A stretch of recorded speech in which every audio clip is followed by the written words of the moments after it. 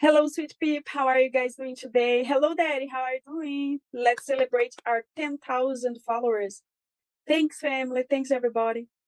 Thanks, Dad, to be with us all the time that you can.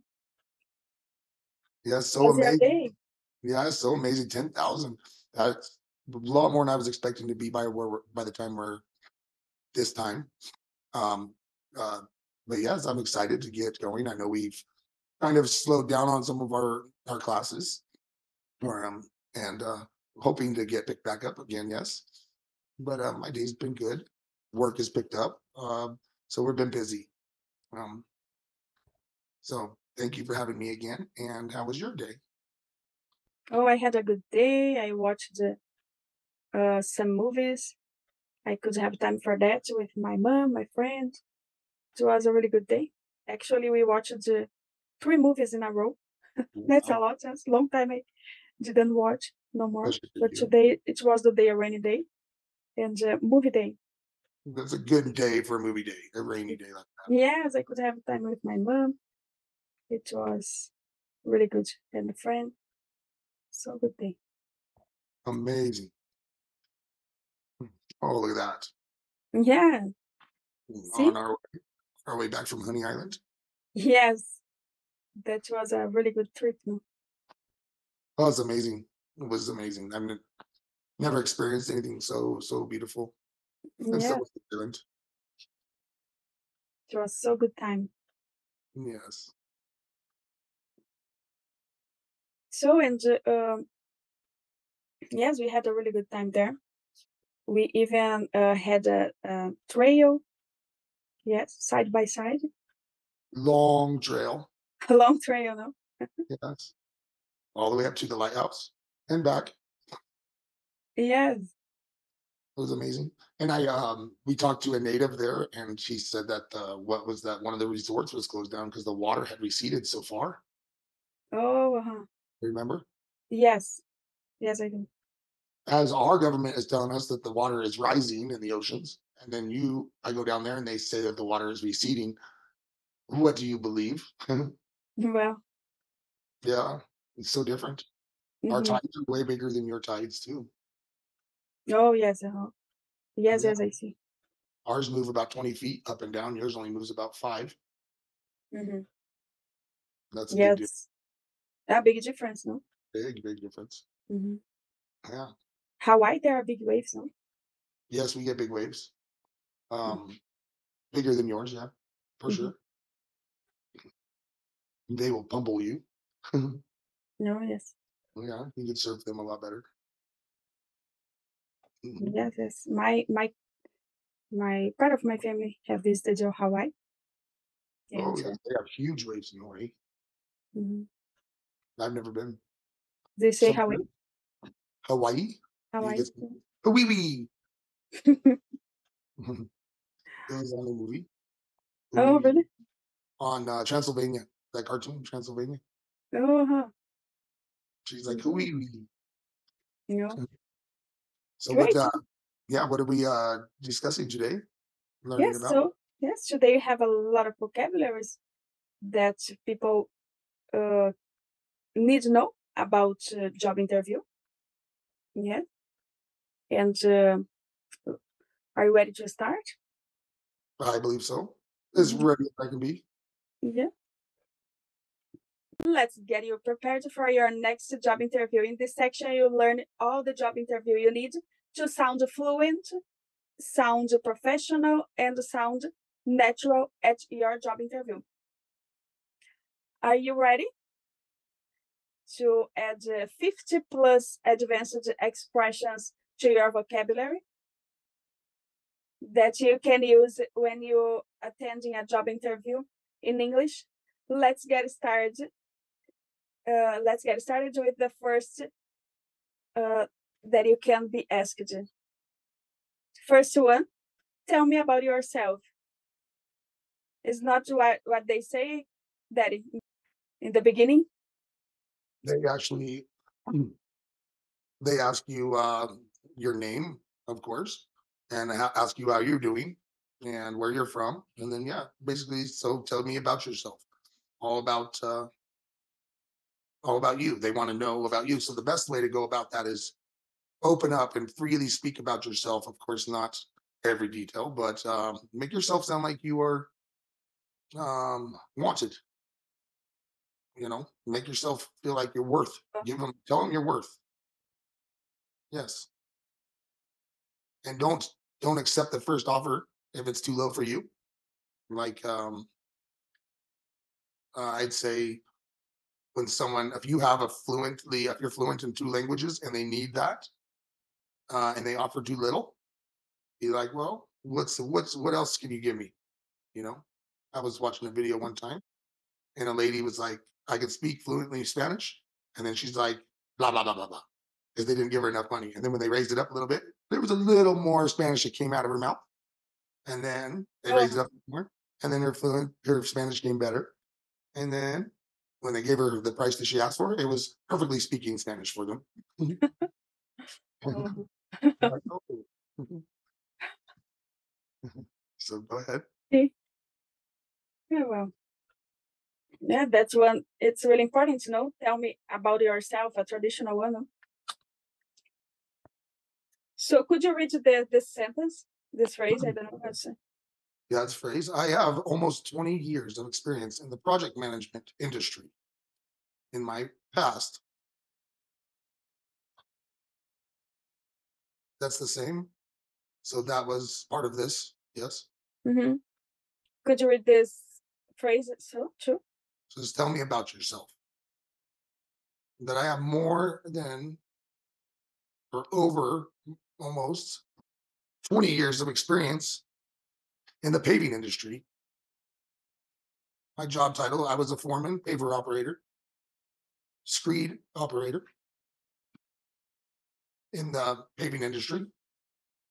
Construction is what it would be under. So I'm highly qualified for all the all that you need for your uh, for what position you're looking for or what I'm looking for, what you need. I can I'm more than qualified for what the for the person you're looking for. Yes. Highly qualified. Go ahead. So Yes, good. You have a, a lot of experience, yes, in your job. For long uh, years, you're there, no? yeah. Mhm. Also, And even you had another experience before, no? Your in in your previous job too, no? Um, yeah, I was a commercial fisherman before. Um, but I also have my CDL, my commercial driver's license. I can drive anything. Um, so that also helps. I could do three people's jobs when they they would normally have to hire three people to do what I can do. I think I'm worth way more than what I'm getting paid. Because there's nobody else in my field that can do what I can do. No. huh Go ahead.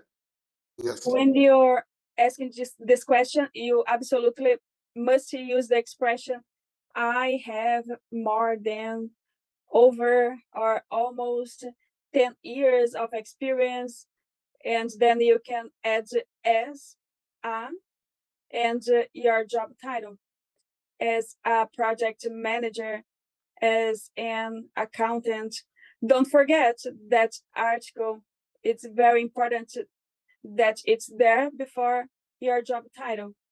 Now you can also talk about your experience in a particular field. Example i have almost 20 years of experience in the project management industry. I have more than 15 years of experience of in the IT sec- sector. So you can use field, industry, or sector. Yes. Do you want to say something about that, Daddy? No, I'm okay. Yes.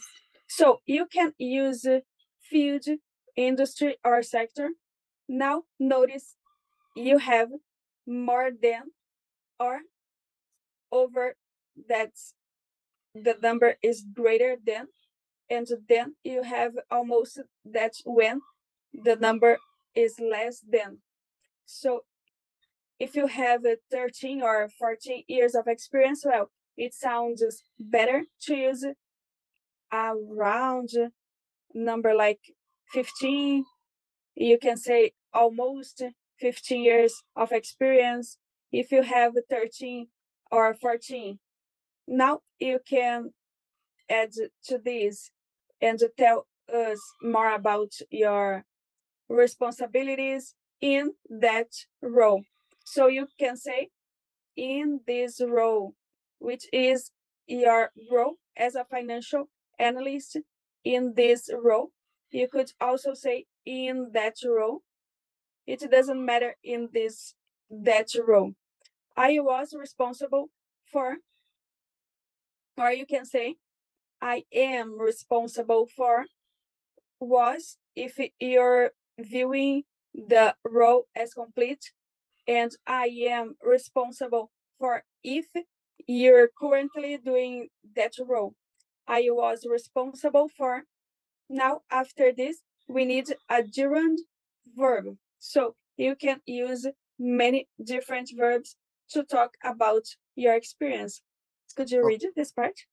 In this role, I was responsible for managing everyone or overseeing them, being a leader or leading my crew, coordinating, as in um, like uh, symphony coordinating, just coordinating, making sure everything is put in together and nice and neat and meshing well, creating, creating, um, creating everything that needs to be put together so it goes together as well as it should be. We develop or developing our own material, reviewing everything together to be, make sure it's perfectly and put together before we put out the material. We improve or improving every, all all of our management and our crew. We're constantly improving, streamlining. Streamlining, we have a team that does streamlining on the computer so that people can watch everything that they do. So we streamline. So I was very much in streamline with some of my guys. And then we analyze or analyzing. So we people constantly are analyzing and making sure that it's perfectly orchestrated as we need. So yeah, I, I was an important part of this company, being able to manage all of this together. Or just one out of the uh, bunch. You could say I was a manager. I was someone yeah. that could see. I was the leader or a foreman, or just a coordinator, which worked under the foreman, or create or the creator. So there's a you can do one or do all. I don't think one person could do all. Not streaming and analyzing them, but definitely improving constantly. If you're not improving while you're when you work somewhere, then you better find another job because you should always be improving. I think you should always be learning and you should always be improving. Yes, yes. Mhm. Time to find a new job. If not, go ahead. So Yes, great. Good, uh, good everything you told us. Of course, you can use other verbs, yes, but these are the most common, no? So, is streamlining, this means improving the efficiency, the effectiveness, yes. So, as a financial analyst, you could say, could you read this part too? Hmm. I have over 20 years of experience as a financial analyst in the IT industry. In this role, I'm responsible for overseeing a team of 15 people. And I I am responsible for streamlining our operations. That sounds professional, yes. That sounds very good. I would like to uh, hear more as a as a person that's interviewing you. I would like to hear something like that. That would be amazing. Hmm. Go ahead. Yes, so now in a job interview, you absolutely want to use more academic or formal adjectives. Yes, you don't use it to say, example, I have a lot of experience. That doesn't sound very strong or convincing. it sounds a lot more impressive if you say, I have extensive experience, I have significant experience. So those are two must know adjectives that you should use in job interviews. Huh? Extensive and significant with simply is a more formal way of saying a lot of.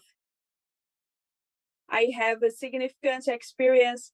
And again, after this, you need a gerund verb. You can use any of the verbs I've already shared. And of course, you will have uh, specific verbs for your industry and your specific job title. Could you read this that one? I have extensive experience creating international campaigns for a variety of industries. That sounds professional, I'd say. Yes. So now, after this expression, I have significant, extensive experience. You could also use a noun. Huh? I have significant project management experience. I have significant financial and analysis experience. So you don't have to use a gerund verb. You could also use a noun. Yes. And if you're asked about your education or your credentials, you can simply say, I have a Bachelor of Arts. I have a Bachelor of Science. I have a Bachelor of Arts, a Bachelor of Engineering, whatever that may be.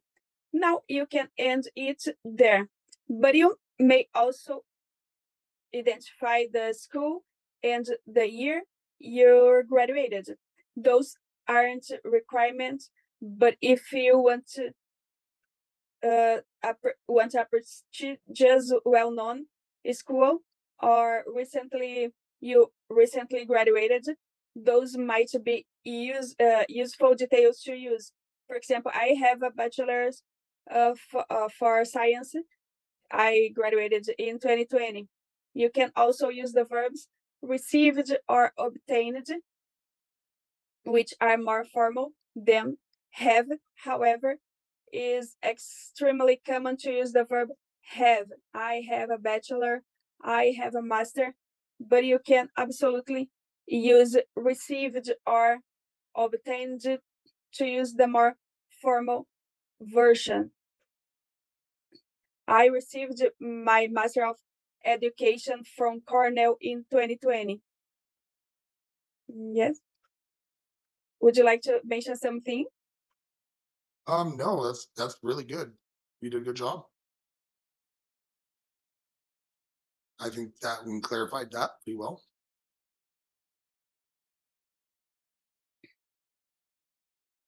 Yes. Yeah, what do you got next? How do you have 50 of these things? Oh. Yes. I completed my PMP in 2019. Do you want to say something about that? Title, that topic? Do you Yeah, want to say so something strength. about the? As for my strengths, um, my leading skills are not as strong as most, I would say. Um, but I do good.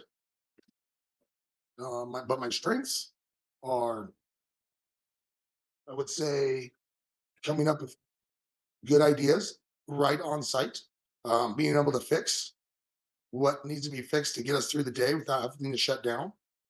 Um, I'm a good innovator, constantly coming up with uh, great ideas, new ideas, making things better, uh, work easier. So, yeah, that's my strengths. I, I I work well, fairly well with others. I'd say I'm kind, and I speak uh, the truth. Yes, you do. So those are mine. And a hard worker. And show up every day. Don't call in sick. Ever. I never call in sick. I know that. Yeah. Go ahead. Yes, you really do a good job in your job. And so congratulations no, for you. You are a really good one. good employee? Yes, I do a lot of work for them um, without getting paid as well, which I probably shouldn't do so much, but oh well. Yes, yes, you do. I know. Because of that, you're tired today yet, no? Yeah, and I even got more to do still. Keep going. Yes, let's talk about uh, then your personal strengths, as that told. The interviewer is like going to ask you, what are your strengths? What would you say are your three best qualities? So here you can use uh, some words. And you could say, as for my strengths, that's just to introduce the point. As for my strengths, I am uh, extremely, and then you can list the quality. Now notice here, I use the adjective extremely. This is a more convincing adjective than I'm really or very. You really can avoid those of adjectives because they don't stand out and it's way more convincing to use a stronger adjective in a job interview like extremely. I'm extremely hardworking which sounds stronger than i'm a really hardworking. Let's review some common adjectives that you're going to use. And for all of these adjectives you're going to use the verb to be and then list the adjective. I am extremely hardworking, committed, trustworthy, honest, focused, methodical, proactive, a team player. For a team player, you can't use an adjective. You're simply going to say, I'm a team player. You're not going to say, I'm extremely team player that doesn't work, I'm a team player.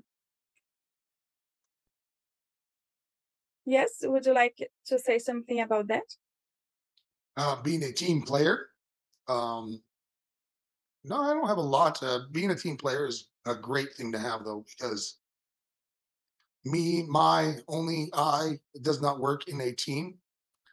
So you got to be able to handle and uh, recognize other people's strengths when you work with them and accepting their ideas and trying to work with them and see if they will work. I always like doing that with my crew.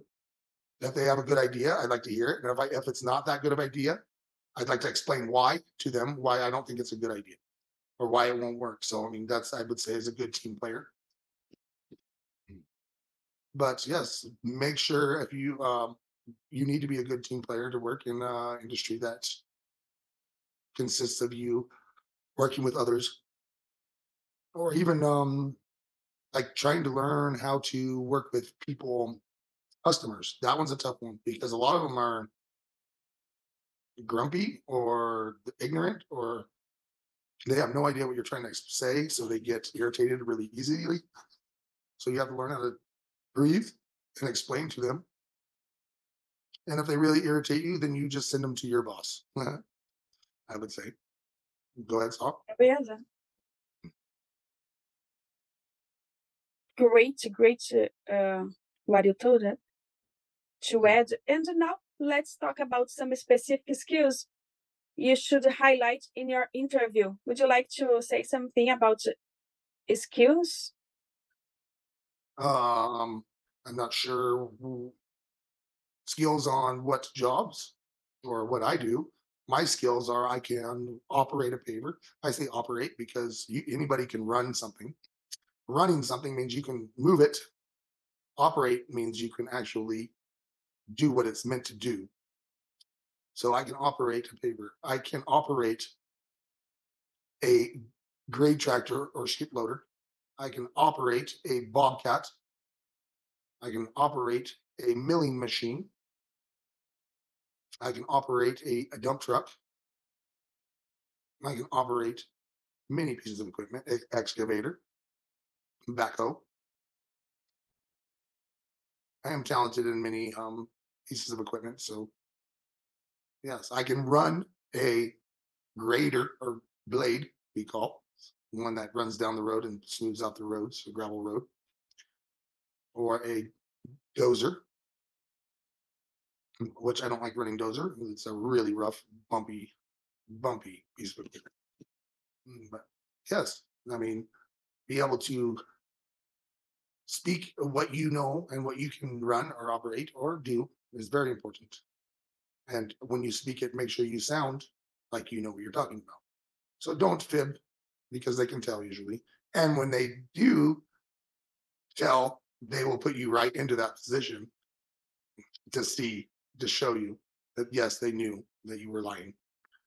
Uh, we've had a guy come in and say they had five years experience in the mine industry.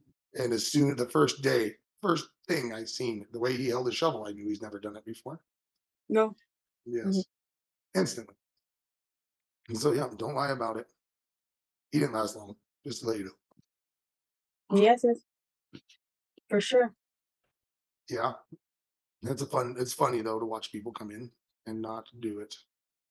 So go ahead, Saul. Yes, great. Yes. So the following skills are the rated is uh, the top 10 skills that employer wants. Of course, the skills are specific to your industry, so you can take this as a, a general list of skills that you each you could use to highlight the interview. And to talk about these skills, you can say I have, and for an adjective, you can say I have advanced I have superior, I have excellent, and then you list the skills. Example, I have excellent time management skills. I have superior communi- communication skills. I have advanced adaptability skills.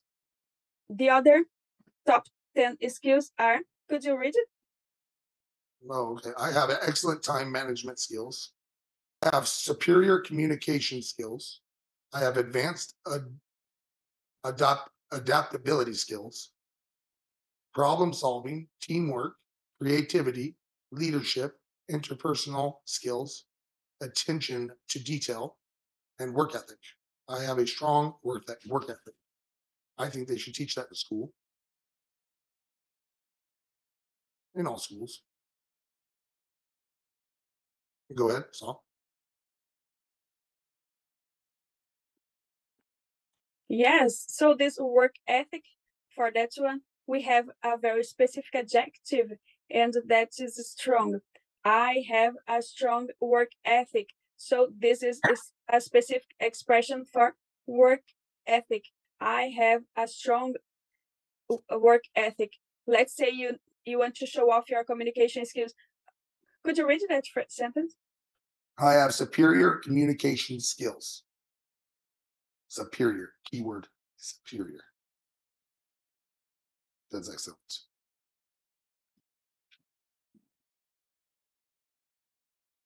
Why are you or why you're interested in this position is I would ask you, why are you interested in this position? Yes, so now let's say the interviewer wants to know why you're interested in this pos- specific position. You could say, I'm looking for an opportunity to further or to develop my X skills.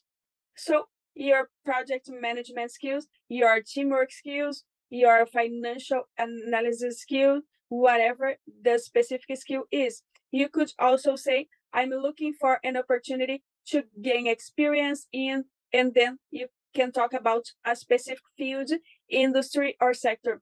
In the IT industry, in the project management field, in the marketing sector. You should absolutely have a conclusion, yes?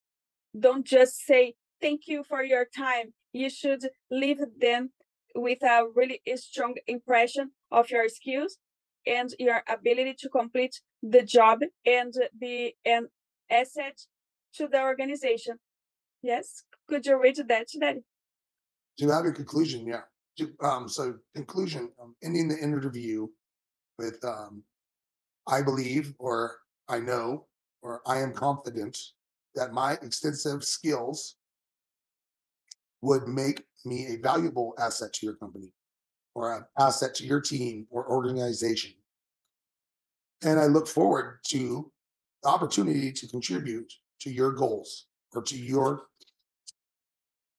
uh, foundation or to your um, to your opportunities of building this company. So yes, definitely that's a good way of ending um, an interview. Make yourself and always hold your chin up high, and um, don't don't don't hang it down low. Speak loud and clear, and to your uh, soon to be possible boss. Yeah. So I'd say conclusion is important as well. Go ahead, Saul. Oh, yes, so important. to- So I believe that, I know that, I'm confident that my extensive project management skills and adapt, you should uh, adapt it for your specific job, yes. for sure. Um, and always continue to use it. Another thing is, is when you work in your in your uh, skills or in your business, always work like no one's watching. You know, because people are always watching. You might not see it, but they're always watching. And the thing is, is like I was reading a story one time, and a guy was annoyed by his parents about how they were always on him about shutting the doors to the house, picking up, pushing in your chair to the table, turning off lights when you're not in the room, cleaning up after yourself, or even if somebody else leaves something out, pick it up. I know a lot of people don't like doing that. Nobody does. But Oh, yes, nobody does. yeah, so as he did, it was instilled into his head that that's what you do all the time. And so it's common, it was common for him to do. And uh, he went to a job interview. And as he was waiting for his turn, because there was a line of people going to this interview, he went around and he picked up, he pushed in short chairs, he shut doors, he shut off lights, things like that, picking up after people. And because his parents instilled into this head, he instantly got the job without even the interview because they could see they seen him out there doing that and he didn't even know. But they they they recognize they see the potential this guy has and what he's doing when he thinks no one's even watching him.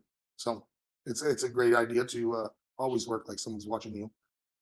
But just they they recognize they recognize that kind of thing. So yeah. Anyways, go ahead, Sal. Yes, mhm. really good uh, history, yes. Mhm. Yes. And anything else to share? No, I'm I'm I'm okay. My body um needs to share. You're okay? It It is true. All this stuff uh, is excellent, excellent stuff, no matter where you're at. Mhm. Yes, really useful. Yes. Yes, of course, you should take this and adapt it to your uh, specific industry or role, but you absolutely want a strong conclusion statement to impress the interviewer. You are doing such a great job. And uh, in the next class, there's a very important section because in this section, you're going to learn over 50 transition words transition words are so helpful to sound advanced in English, but they're also helpful to take a simple idea, expand on it, and make it more complex. So really pay attention to this section in the next class. And uh, thanks for coming and watching this video. And so you can increase your knowledge. And don't forget to subscribe in our channel. Yes, Daddy. Yes, don't forget to subscribe and um, continue to follow. It's good to see everybody uh, that is following that are back. Um, hopefully, we can keep going more and more uh, on our on our videos, so you guys can keep refreshed up on your English and uh, learn more. Because I'm actually learning with you, so this is great. Thank you, Saul, for having me again, and um, hope to see everyone back tomorrow. Thanks, guys. Bye bye. Yes, bye bye. See you soon. Yes. Kisses. Good night. Good night.